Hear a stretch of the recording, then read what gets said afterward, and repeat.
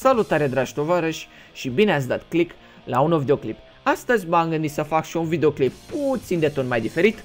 Uh, genul acesta de videoclipuri căutam și eu cândva când aveam o rablă de PC, așa că m-am gândit totuși să-mi amintesc de vremurile acelea și să fac și un clip cu jocuri ce le-am jucat pe când aveam o rablă cu 2 GB RAM și nu mai știu ce ne aveam pe la hard 160, placă de 512 și uh, procesor dual core de 2,2, Pentium evident, că de unde bani de i3, mă rog, nu aveam i3 pe atunci și nici acum n-am i3, am AMD, dar mă rog. E bine, astăzi top 5 jocuri pentru PC-uri slabe și am să vă las în descriere și linkurile către de unde să vi le descărcați și pe ecran am să vă pun și cerințe de la fiecare joc în parte. Așa că, fără alte discuții și prelungiri, să începem. Pe locul 5 avem 3 jocuri. Uh, puteam să fac top 10 jocuri și să includ uh, jocuri din aceeași serie pe locuri diferite, dar mi s-a părut mai mișto așa. Așa că pe locul 5 avem GTA 3, GTA Vice City și GTA San Andreas. M-am gândit să pun astea trei jocuri pentru că nu știam cum să aleg unul singur dintre ele și poate unora vă place un joc, unora poate altul. Poate unora vă place GTA 3 pentru că gen când traversezi pe loc nepermis, neasigurat și îi tai calea, unul spune frână în față, te claxonează, îi arăți semnul păcii, Vice City pentru că atmosferă ca în Miami și San Andreas pentru că primul GTA cu personaj de culoare și l-avem pe Big Smoke cu legendara frază All we had to do was follow the damn train, CJ. Așa că luați de aici cerințele în parte pentru fiecare joc și apoi trecem la următorul.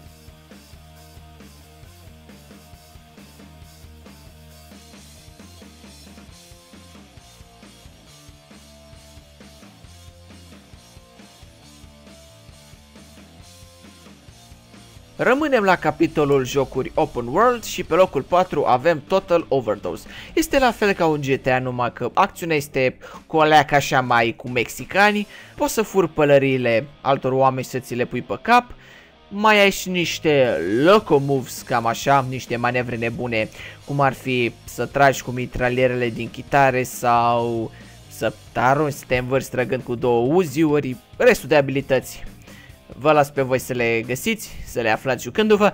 A, da, și mai aveți niște salturi în uh, slow motion, ca în Max Payne, că parcă acolo mai aveți chestii de genul. Hai, luați de aici și cerințele de la joc și mergem după aia la locul 3.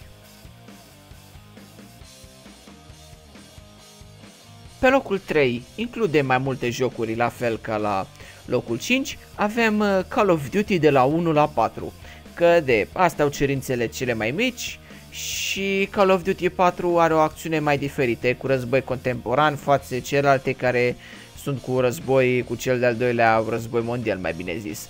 Uh, țin să menționez că din asta cel mai mult îmi plac Call of Duty 2 și Call of Duty 4 pentru...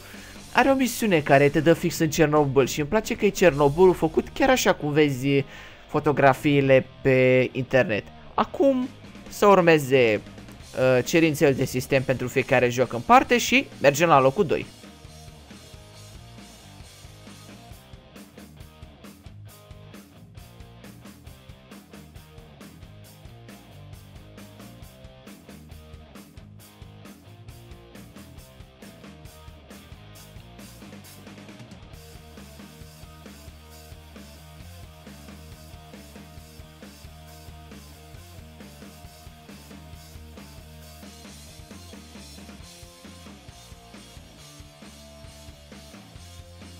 Pe locul 2, tot așa, avem într-un fel mai multe jocuri. Half-Life 2 cu DLC-urile sale Half-Life 2 episodul 1 și 2 și varianta sa de multiplayer Half-Life 2 Deathmatch. Uh, cu toții știm povestea din Half-Life, cei de la Valve n-au vrut să facă nici acum după vreo 14 ani de la lansarea lui Half-Life 2, n-au scos nici măcar Half-Life 2 episodul 3, dar ce să mai zicem de Half-Life 3.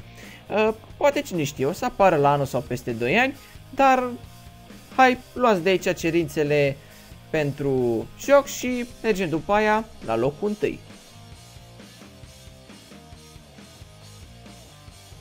Iar pe primul loc se află unul din preferatele mele, Far Cry 1. Despre acest joc am mai discutat și în videoclipul cu top 10 jocuri ale copilăriei, dar am să zic și aici câteva lucruri despre acest joc. Ești cu tipul acesta Jack Carver, ajungi într-o zonă tropicală, știți voi, cu bananieri, cu cocotieri, cu chestii de genul, ai niște carcalați și mercenari cu care trebuie să te bați, uh, la un moment dat te îmbolnăvești de un virus ce te face mutant, dar restul poveștii vă las pe voi să o aflați, ori uitându-vă la seria de pe canal că am făcut tot jocul de la cap la coadă sau să-l jucați. Aveți linkul de la fiecare joc în parte în descriere.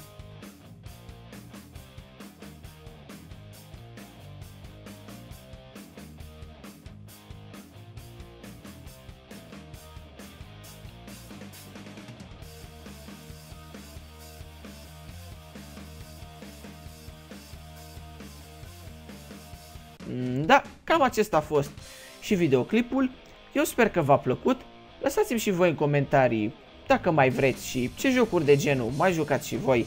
Că na, dacă e să fac o parte a doua, să știu și eu ce să mai pun, că poate nu o să-mi vină idei, poate dați și voi sugestii de alte jocuri și o să le includ pe respectivele și gen, dacă e luat din comentarii, vă includ și numele acolo. Uh, eu o să închei aici, în afară de linkuri de descărcare pentru fiecare joc aveți în descriere și alte câteva linkuri cum ar fi profilul de Steam, de Instagram, server de Discord, Facebook și toate cele. Le găsiți în descriere, așa mă mai puteți contacta. Intrați acolo, pe profilul de Steam acolo mai anunț, mai forțez ca să mai anunț că sunt live, pe server de Discord mai intru uneori și mai ascult muzică cu cine mai e pe acolo. E destul de fain. Eu o să închei aici și cam atât. Ne vom auzi data viitoare. Ciao les!